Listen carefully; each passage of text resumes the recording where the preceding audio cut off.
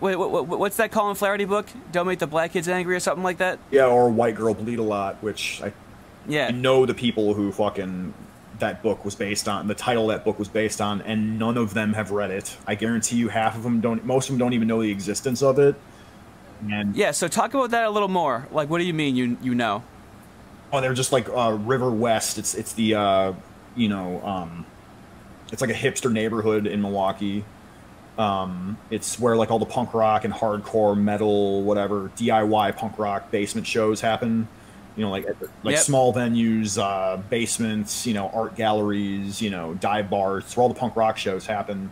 I used to hang out with a lot of these people, playing bands with them, go on tour with them, hang out at their frat houses with you know punk houses. Maybe you maybe you or some of the viewers have some experience with that kind of thing. You know that scenes are like a huge breeding ground for Antifa types. So if you if you see Antifa types or BLM types, there's a high probability that a lot of them have come out of that scene, right?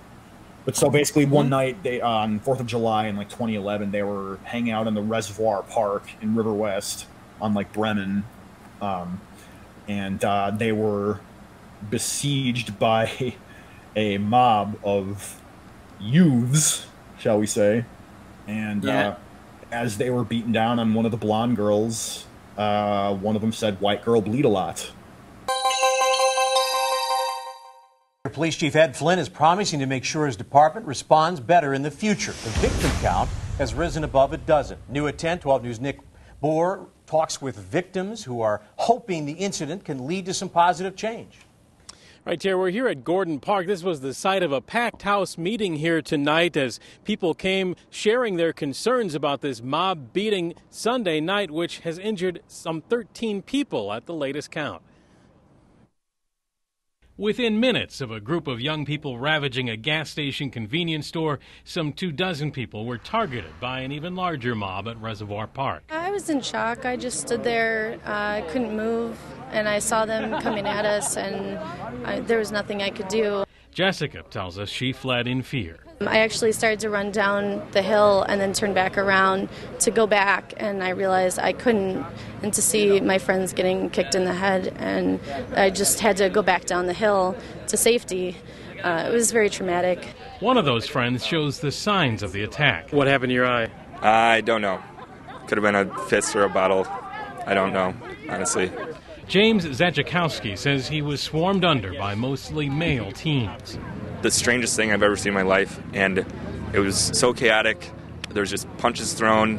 Um, before I knew it, I was on the ground and being kicked, and people were rif- rifling through my pockets trying to get my phone and my wallet. It's tough to even like determine what happened, um, how many people there were and stuff.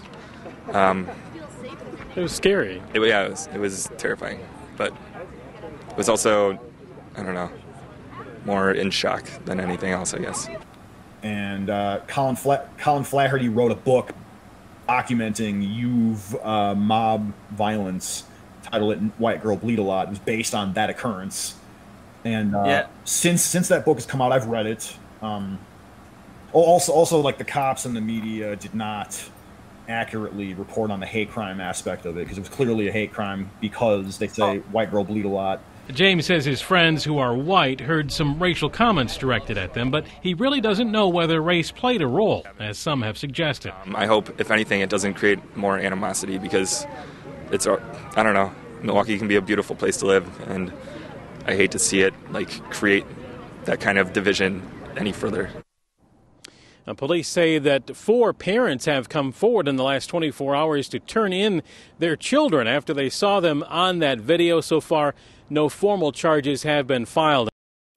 Um, but since I've read it, I've tried to reach out to a handful of people that were involved in that incident, and I've been like, "Hey, Yeah. were you were you aware of this book? Have you if if you are aware of it, have you read it?" And they don't respond; they just block me without even responding. They're all Black Lives Matter supporters. They're all Antifa supporters. Yeah. Insane. We've we've kind of digressed a little bit here. I don't know. Well, I mean, it, it but like that, but that that's how this like swelled so large because people just stopped like associating with those people, and they've been getting like louder and louder and louder, and like fucking the epitome of a fucking echo chamber where they'll they will only talk to people that don't go off script. It's that's why it's like dogmatic and cultish. Yeah, and uh, Yeah, I mean these people just get wasted all the time. They go to really shitty punk shows where like only like one out of twenty bands that you see is actually decent, and they they all seem to realize this, and they they all seem to sort of in some compartment of their brain realize that the politics are bad and stupid and don't make any sense. But they're sort of playing the game. You know, they're shit testing each other. They're lying to each other. It's just it's really ugly and gross. And they're all on drugs and they're fucking each other's girlfriends and Degenerates.